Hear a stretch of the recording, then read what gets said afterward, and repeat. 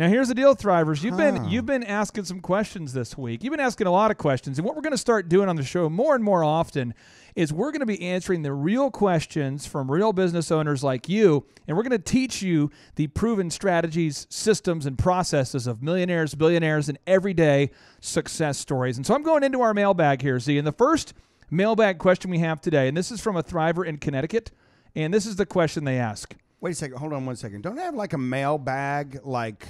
Are you looking like for a ma- button? don't I have one that like tee up mailbag Tuesday, Uh, Valentine's? You know, don't I have one? Well- Sam, don't. Where's my button? I feel like you do have one there. There's a mailbag question that's available at any time. Here we go, Z. I'm ready for it. It's on at soundboard A. Here we go, Z. Here we go. Mailbag.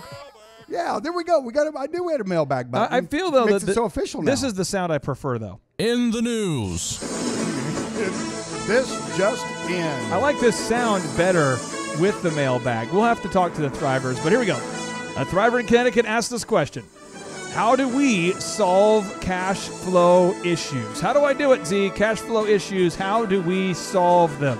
Well, what you need to do, um, one of the best ways to solve cash flow problems, obviously, is, is make sure your budget and make sure that you, you know, you're using your money wisely. Um, you know, apart from that, let's say you are and you have some AR, you know, you have some billing, and you don't get, you know, you got to pay out before you get paid in, and so you have a. You said a- AR for anyone who's new to Oh, this. accounts receivable. I'm Okay, sorry. You have accounts receivable. In other words, you're billing somebody and they have a, a, a length of time to pay you, but you've got to pay out on that process before that. So you have a lag in collecting your money.